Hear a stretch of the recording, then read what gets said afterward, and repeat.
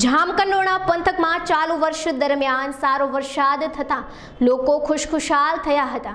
ત્યારે હાલ કમોસમી વરસાદ વરસતા ખેડૂતોના પાક નિષ્ફળ જવા પામ્યા છે. તૈયાર પાક પર વરસાદ અને વાવાઝોડાના કહેરથી જગતનો તાત આર્થિક મુશ્કેલીની ખાઈ તરફ ધકેલાઈ રહ્યો છે. ત્યારે ખેડૂતોને થઈ રહેલ આ આર્થિક નુકસાન સંદર્ભે સરકાર તરફથી કોઈ સહાય મળી રહે તેવી આશા સાથે માંગ કરવામાં આવી રહી છે.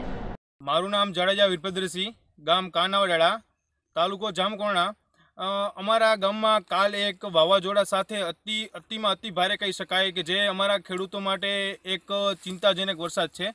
જે અમુક તો આમ તો ચાર પાંચ વરસાદ થઈ ગયા, પણ કાલનો વરસાદ એવો વાવાઝોડા સાથે, પવન સાથે કે જેને અમારો કપાસ છે, મગફળી છે, માંડવી ટોટલિંગ અમારો જે વસ્તુ છે, એ બધી વસ્તુ અમારી નિષ્ફળ ગઈ છે.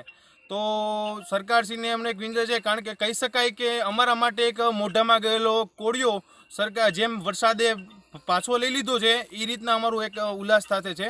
તો સરકારશ્રીને વિનંતી છે કે અમારી મગફળી કે અમારો કપાસ જે ટેકાના ભાવે જાહેરાત થઈ છે એ ફરી તો એ નહીં લઈ શકે, તો અમને એવું છે કે સરકારશ્રી અમારી પાસે આવે, અમારી મગફળી બધું અમારું પાક ચેક કરે અને અમને પૂરતી સહાય આપે અને જલ્દી જેમ બને એમ તેમ વહેલાની તકે સહાય આપી શકે, તો સરકાર અમારા માટે સારું છે.